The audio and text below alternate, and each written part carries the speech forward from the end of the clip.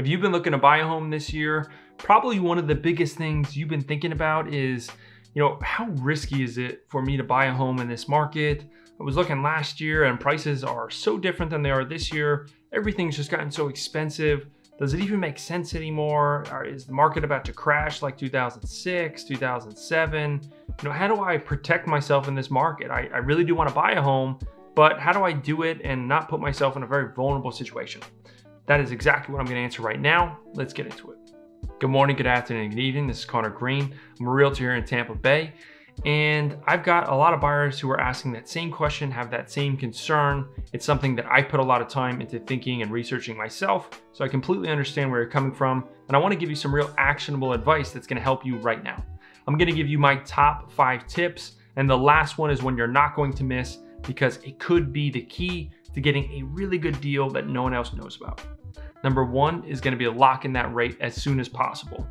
So by rate, I'm talking about your interest rate most likely you're going to be getting a loan. You're not just going to be buying the property outright in cash. And so the reason I say to lock in the rate as soon as possible is because rates have gone up significantly. Just in the past month, if you haven't locked in your rate, you know, you've missed out significantly on where they were at versus where they're at now. And the reason rates have gone up so much is because inflation and prices have gone pretty high. And so the government is trying to subdue the market a little bit, calm it down, by discouraging buyers from buying. The higher the rates, the less likely people are to buy. Historically speaking, though, the rates are still pretty low, and the demand, even despite the rates increasing, the demand still stayed pretty strong, which basically means that, okay, yeah, you've increased the rates on me. Does it suck? Yeah. Is my monthly mortgage going to be more? Yes, it is. But I still want to buy a home, and it's still worth it to me to buy. I'm not going to rent. And so that means that rates probably are going to continue to go higher, which means you should lock it in as soon as possible. Number two, be in it for the long term. And what I mean by that is to be in any market, whether it's the real estate market, the stock market, uh, crypto, anything for the long run versus the short run, short run maybe being a month, a year, it's going to protect you significantly in terms of your investment and by not buying and selling at the wrong time. By buying and selling at the wrong time, maybe you lose money. That's pretty much what speculation is.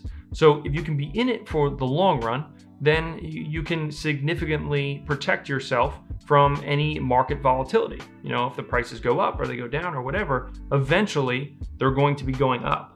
And so as long as you're not buying it here and then maybe it goes down or goes up or whatever, uh, as long as you're not speculating, just stay it for the long run, stay in it for 10 years, 15 years, 20 years, then you're going to protect yourself significantly. And one way to do that is look at the property as a potential rental in the future. Don't look at it as something that in five years you're going to sell and then buy something else. Look at it as something that in five years, if you want to upgrade, this now becomes your first rental property. And now you're going to own two properties instead of one. And that rental property, once it's paid off, should be a really good cash flowing asset. Number three, don't go for the 100% move in ready, uh, brand new, beautiful home go for the one that needs just a little bit of work. Right now in this market, even though buyers are definitely a lot less picky, they're still picky, you know, and buyers always are gonna want the move in ready home that they don't have to do anything to, and they're gonna pay a lot more for it. So the premiums that I'm seeing on those homes is quite high. So if you wanna protect yourself, don't buy the homes that have a huge premium on it, buy the ones that don't have as much of a premium on it.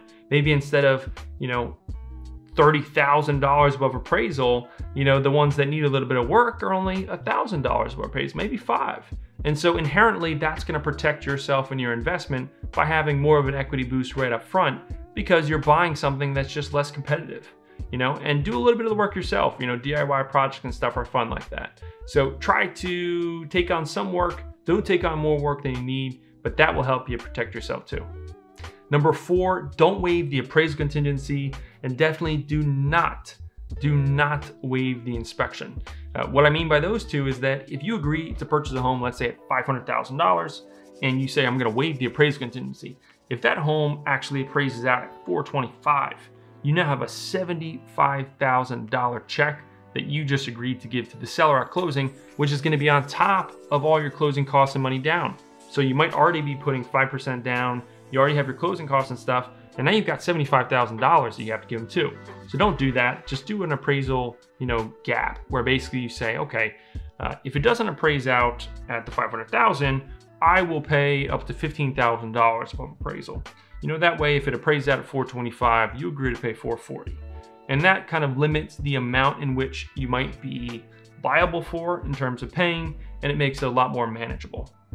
Inspection wise, you don't want to waive that inspection contingency because that could open up the deal to become honestly just a real disaster. You never know if there's going to be structural issues, foundational issues, you know, any of those huge big ticket items where it's just going to change the deal financially, where all of a sudden it might not make sense anymore. Or maybe even from a safety standpoint, you and your family don't even want to live there. Maybe there's just a, a massive amount of mold in the attic or a massive amount of rats or whatever it is. I mean, rats really not that big of a deal. I hate rats, is why I say it, but you know, something like that. So don't waive the inspection. You know, just do a short one. Don't do a 20 day inspection. You know, get your inspector booked to start. That way you can still have a short inspection period, but not open yourself up to a lot of liability. And then number five, which I told you is gonna be one that could potentially get you a very good deal that no one else knows about, is work with listing heavy agents. And what I mean by that is work with agents who list a lot of properties in the area that you wanna buy a home in. That way, if you're looking for a three bed, two bath home in, you know, Main Street, USA, if you have a listing agent who, let's say, lists on average of one property a month in Main Street, USA, then you're gonna have access to that property maybe before it even hits the market. By not having to wait for that property to come to market, you also don't have to compete with other people, which can ultimately get you a much better deal. So those are my top five tips for protecting yourself in today's market if you're buying a home. If you have one that I didn't think about or list, go ahead and list it in the comments below. I'm sure other people would appreciate it. If you like this video, go ahead and give it a like. And if you like real estate, if you want to learn more about it, whether it's just general market updates or specific real estate topics, whether it comes to buying, selling, or investing, go ahead and subscribe to my YouTube channel. I make more videos just like this, super easy to understand and nice and straightforward. But that's it for me today, guys. So until next time, this is Conor Green. Have a blessed day.